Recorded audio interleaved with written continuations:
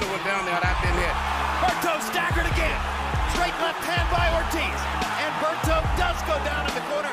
All, all of Ortiz's punches are very There's the right hand again. And now Berto has a knockdown. That's making the distinction for you. Down goes Ortiz on a perfect right hand shot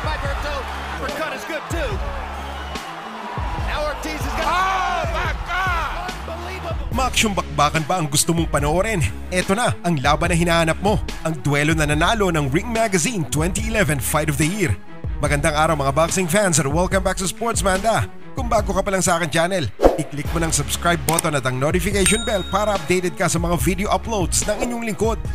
Sa larangan ng boxing, malaking factor ang timbang na inyong paglalabanan at sa championship bout na ito, umakyat pa sa 147-pound division si Vicious Victor Ortiz para harapin ang nooy kasalukuyang WBC welterweight champ Andre Berto. Ang laban ng dalawa ay naganap noong April 16, 2011 sa Foxwoods Resort in Connecticut, USA. Favorite na manalo si Berto sa laban dahil bukod sa nadepensa na niyang kanyang titulo ng limang beses eh, siya din ang nooy top 3 welterweight kasunod ni Pacman at Mayweather. Isa pa, dayo lang si Ortiz sa welterweight division. Alam mo naman na kapag umakyat ka ng timbang at lumaban sa kampyonato eh, medyo mababa ang ibibigay sa iyong tsansa para manalo. Maliban na lang of course kung ikaw si Manny Pacquiao. Himayin nga natin saglit ang ring record ng dalawa. Si Andre Berto ay may undefeated record na 27 wins with 21 knockouts. Samantalang si Victor Ortiz naman ay may numerong 28 wins with 22 knockouts, 2 draws at dalawang talo. Ang dalawang kabigoan ni Ortiz ay mula sa disqualification due to illegal punch noong 2005 at ang isa naman ay nang mati-KO siya ni Marcos Maidana noong 2009 para sa WBA Interim Super World Lightweight title. Kung isa-summarize natin ang dungi sa kartada ni Ortiz, meron siyang Hokage technique kaso suspect din ang kanyang malambot na panga. Pero pagdating sa lakas ng kamao eh, wala na tayong masasabi dyan. Kaya tara mga parikoys, let's go back in time at panoorin natin ang full fight highlights ng bakbakang walang atrasan na Andre Berto versus Vicious Victor Ortiz para sa WBC welterweight title. They were contemporaries as amateurs. They never knew each other personally. Explosive fighters that I've known, but physically I think he's still stronger even though the other... Far in the first round, Berto is busier, and down goes Berto. He's going to say that Berto tripped That over was still, if foot. he didn't land, he wouldn't have went down there had I been hit. Berto staggered again. Straight left hand by Ortiz. And Berto does go down in the surprised by that. I'm stunned. Berto pastes Ortiz with a big right hand. Ortiz walks through it. Keeps throwing. Bert from behind in the late rounds to reel in Collazo. Don't know if he's been hit with as big a shot as the left hand was part of the damage. The first two punches were also part of the damage. Berto was clearly wobbly and woozy at that point. Power. Let's see if Very- Berto has his composure back. Yeah, they're very explosive. Anything like the fireworks we saw in the first round here. Good uppercut by Berto. Trying to land with one or two short punches. There you go, those short, pu- compact punches. All, all of Ortiz's punches are very There's the right hand sharp. again, and now Berto has a knockdown. That's an official knockdown, but it, it would probably do the balance. But to still, the punch.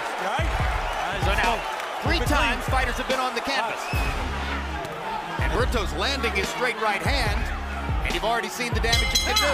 Only 5 of 14, but two of them were those big right hands. Ortiz 16 out of 32. So Ortiz...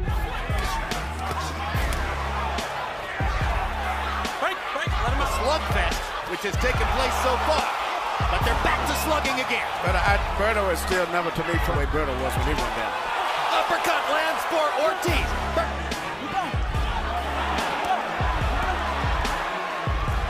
Berto hasn't yet seen the uppercut.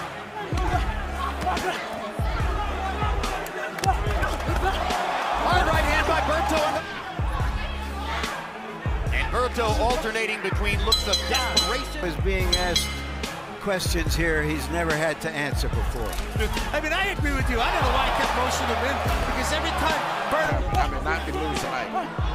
That will not be denied. And that's the way he's Two more hard shots. Another right hook for Ortiz. He's tired. Big left hand by Berto. Ortiz walked right through it. There you see the legs. That's why he's in the ropes. His legs are still weak to me. He's still leaning against the ropes for support. Still motioning constantly between the ropes. watch your head. The image of Ortiz coming into this fight that he he was more flighty he could stand toe to toe with him. Now Made another pair of big shots. Good, hard. Ortiz testing Berto's legs once again. He Probably should have been fighting all the time. This was part of the mantra for Ortiz coming into the fight.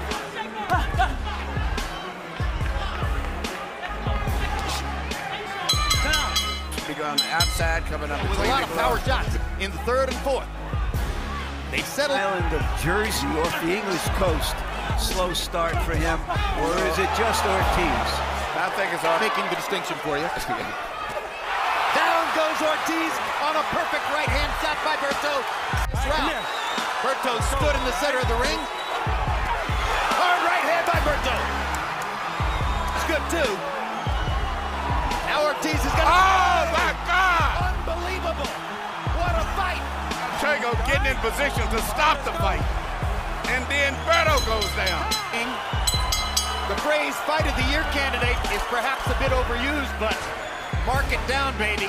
This is It's the two. Victor Ortiz. You know, Jim, let's talk about rounds. As compared to Berto, it still shows to me he's got a lot more left in the tank.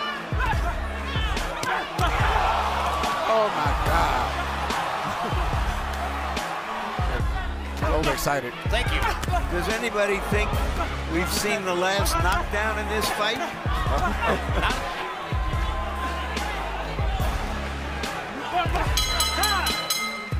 They trying to set back and try to catch Ortiz coming in with one perfect shot. But you know, He's fresh, and their legs aren't fight than for any fight that he's won.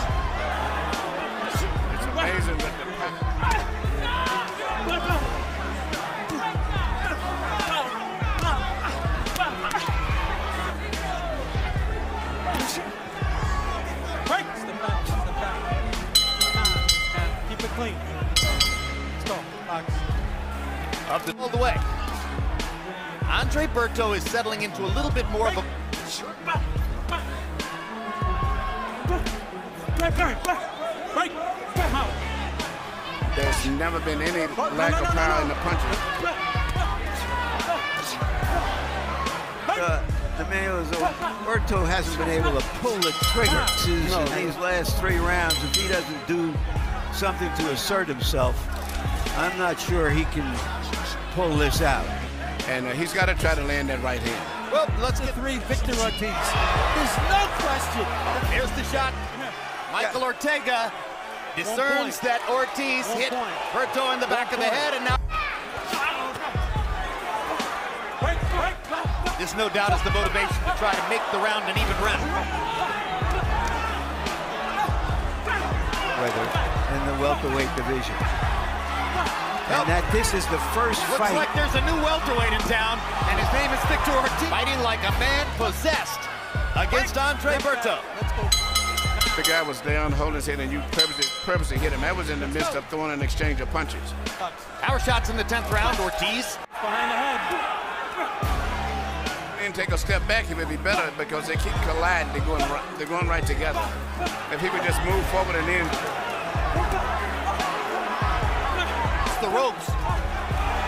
Trying to help, or trying to get the ropes to help him stand up. And who would be a big box office attraction. boxing manhood tonight. Bottom of the round. Danny Garcia has been large Ortiz, and that's pretty much all he's had to do because Victor has been bringing it in every single round. Is the welterweight champion of the He WBC. has created for himself a style which is about risk, and he just got hit with two big shots try to rescue his position in the welterweight division. He has a magical backstory. There were some in the past several months, and fans will not be able to wait to see. Take time.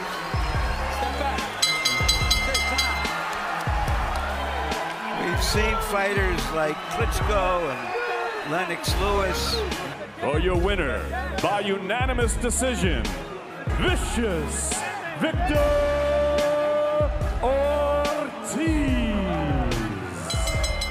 Ang lupit ng ipinakitang performance ng dalawang boksingero. Clearly, mas napagod sa late round si Andre Berto na maintain ni Ortiz ang kanyang punch output at aggressiveness hanggang sa tumunog ang bell sa last round. Kaya kung titingnan ng punch statistics, lamang sa lahat ng kategorya si Ortiz. Overwhelmed sa kasayahan si Victor Ortiz dahil sa wakas eh, nakuha din niya ang pinapangarap niyang kampyonato. Well, ito lamang po hatid ng Sports Manda sa inyo. Maraming salamat at God bless.